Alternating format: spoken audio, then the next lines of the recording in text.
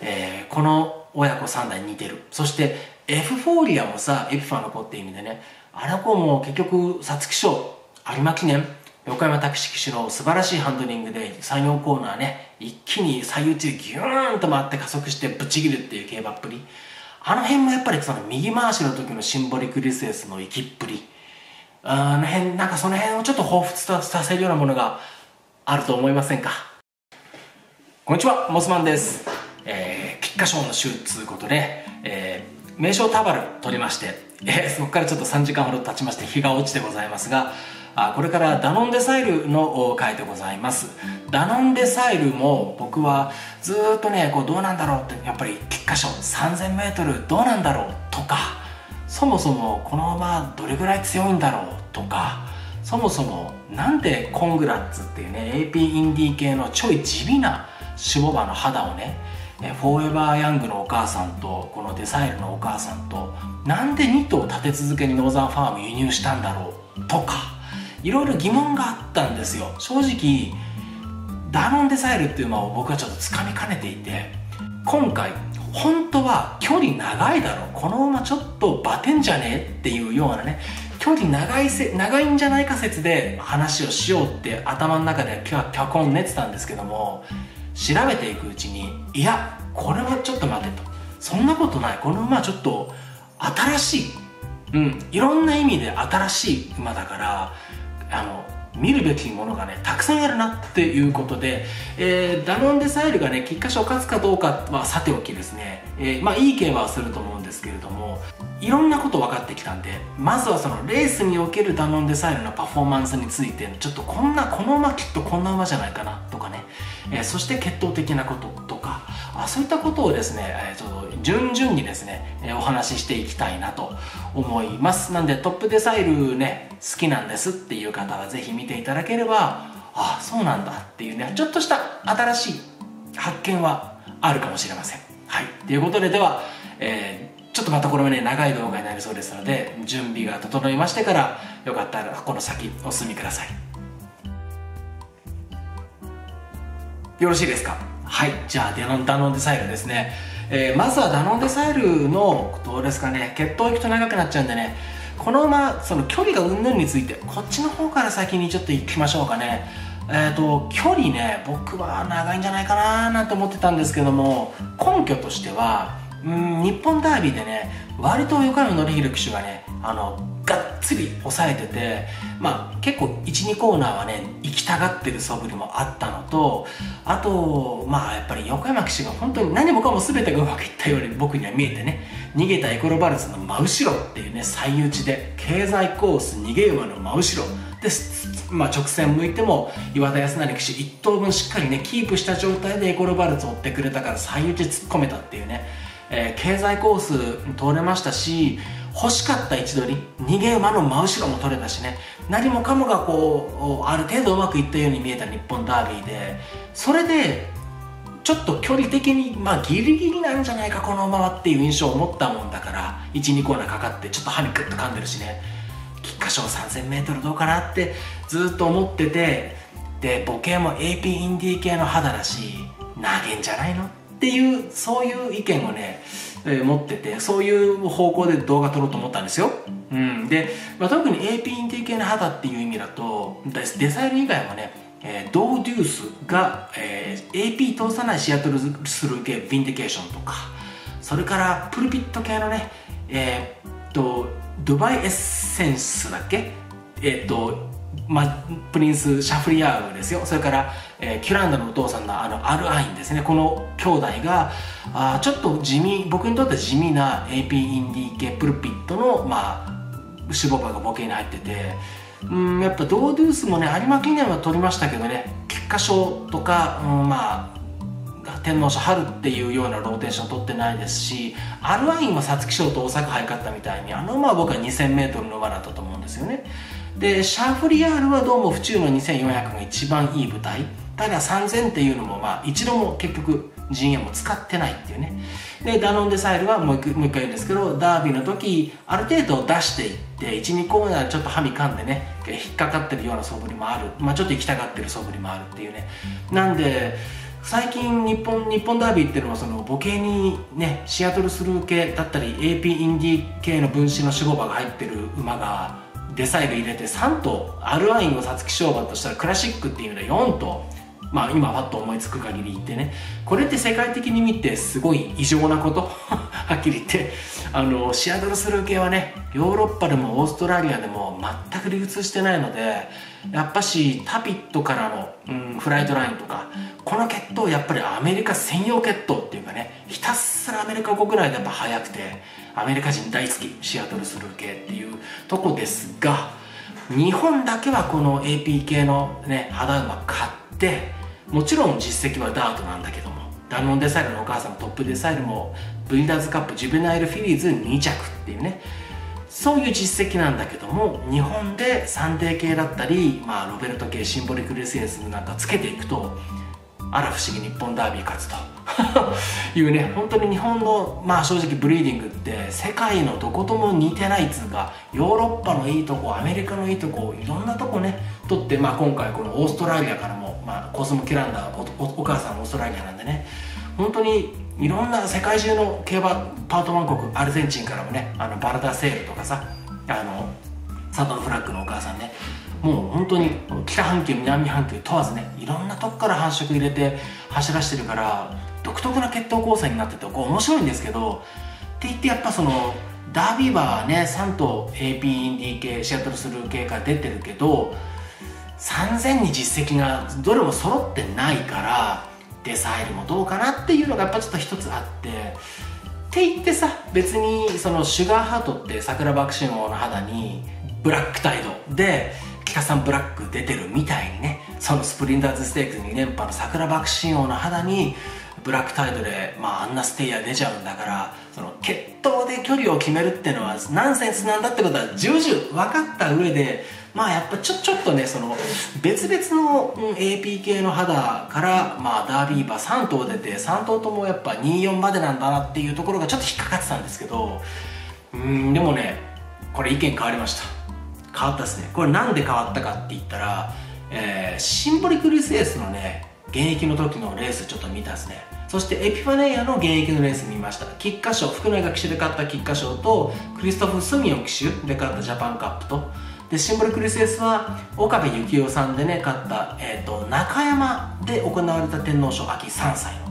と有馬記念と、えー、有馬記念2回ですね。岡部さんとペリエの2回。そして、えー勝てなかったけど谷のギムレットに負けちゃったけど日本ダービーとかね、えー、あとタップナンスシチーに勝てなかったジャパンカップもか。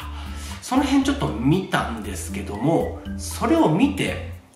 あのこの親子3代競馬っぷり結構似てるなっていうふうに思ったんですよ。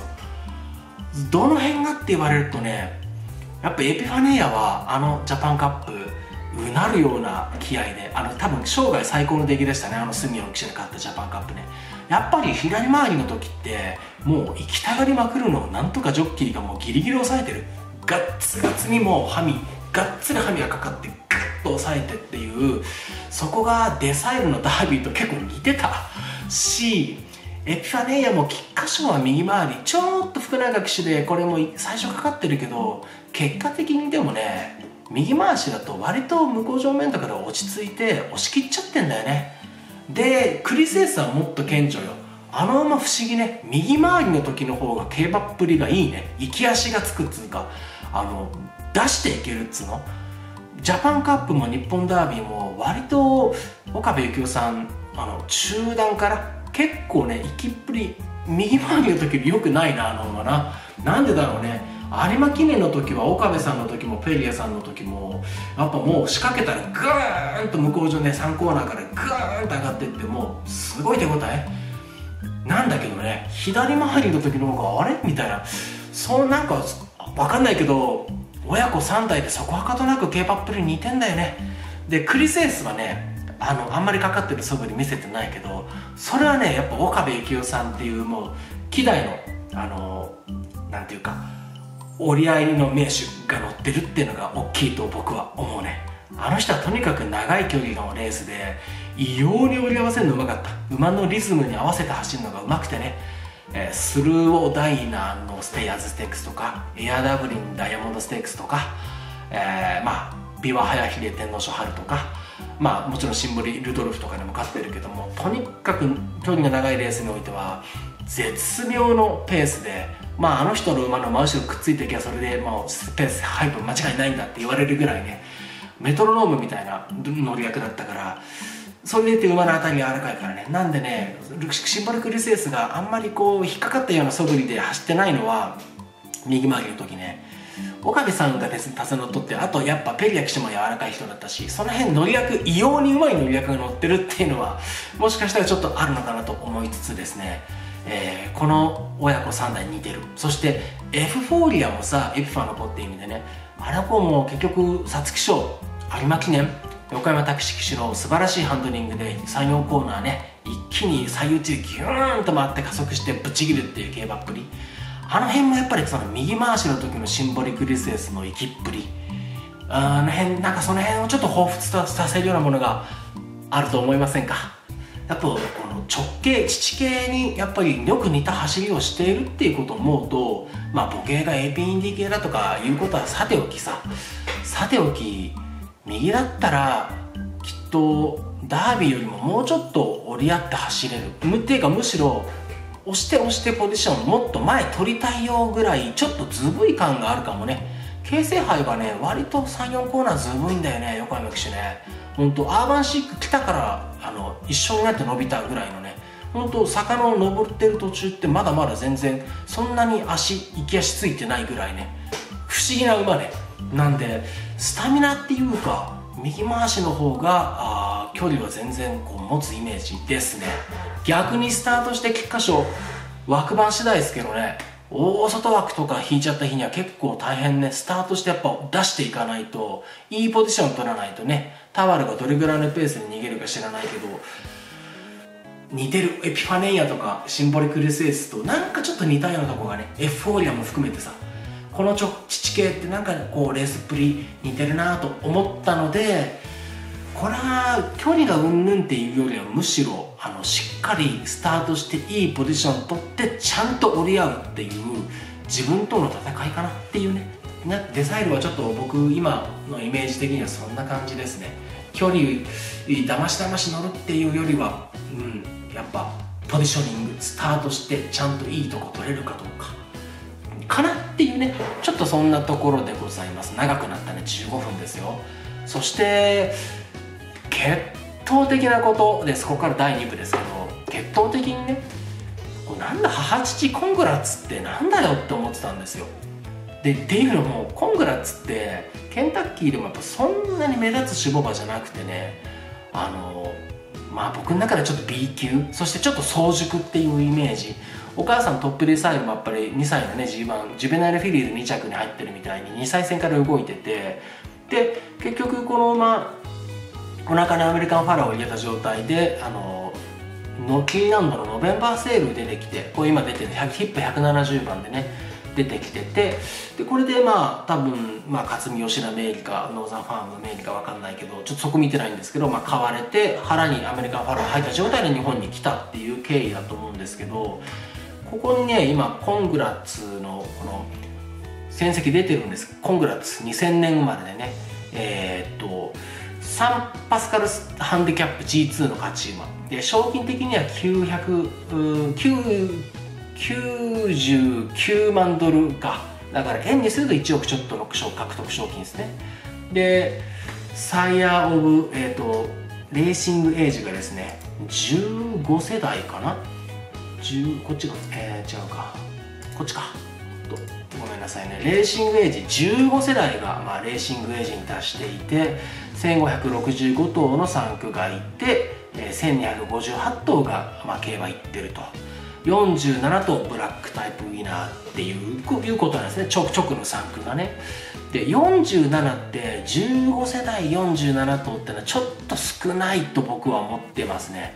えー、例えばレモンポップの動作のレモンドロップキッドとかこの倍はいますんでうんやっぱりねそんなに大活躍の大人気種牡馬ってわけじゃないんだよなこれななんだけども母父としては、えー、30頭の black type winner を出していて including デリック・エイドリアン champion って書いてあってねこれ調べたら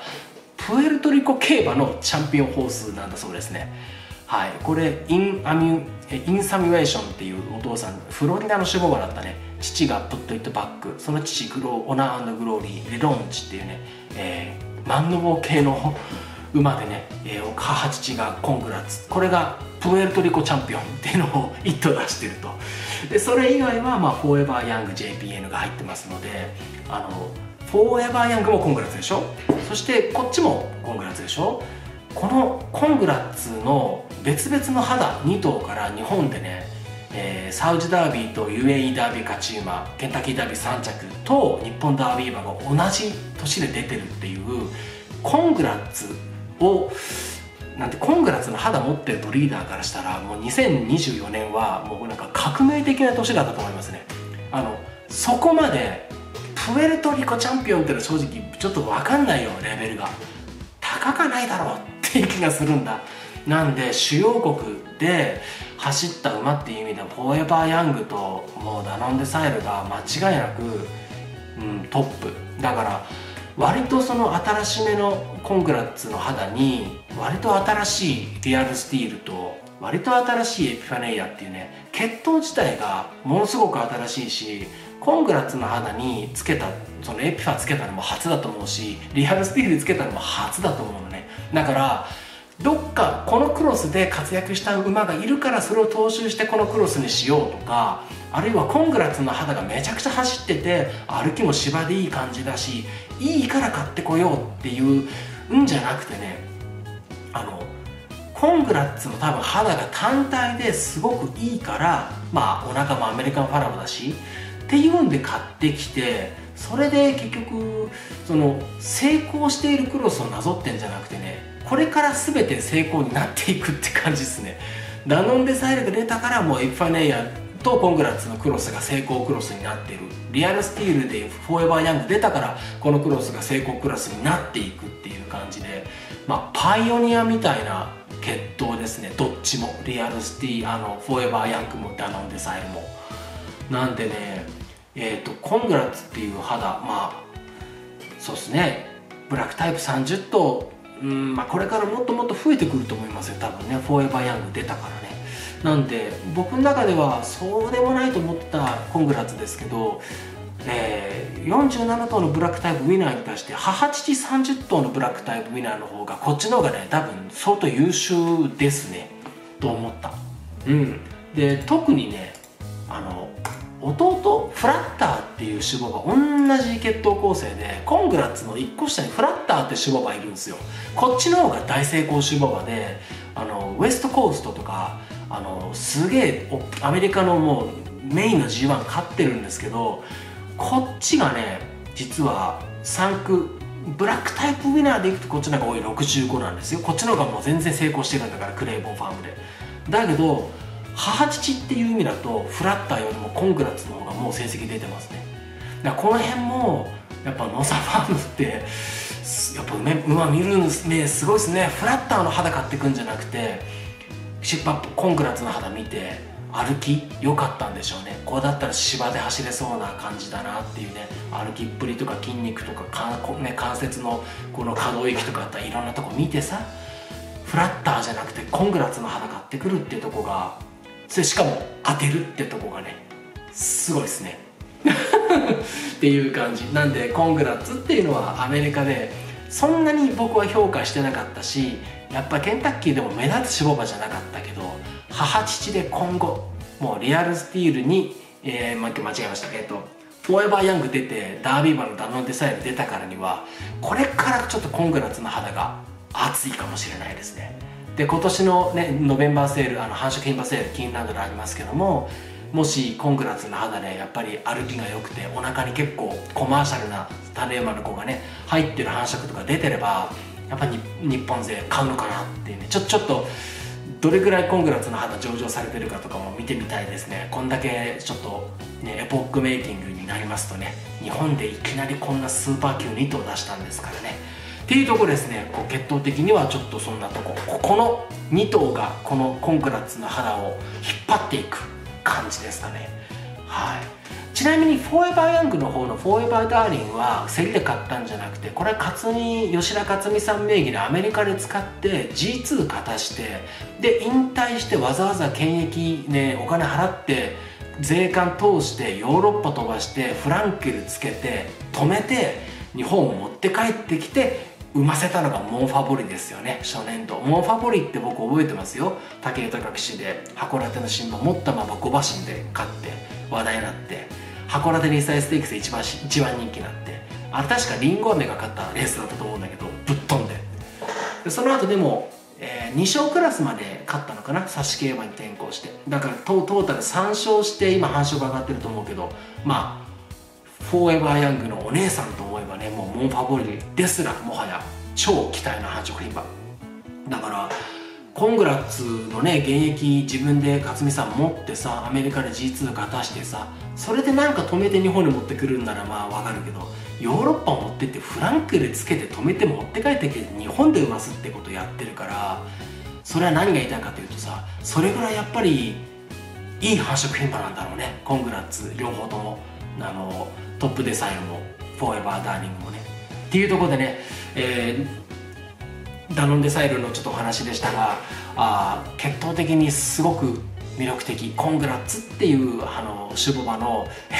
まあこれを父に持つ繁殖牝馬の価値がですね世界中で爆上げなるかっていうところでね、えー、このフォーエバーヤングとこの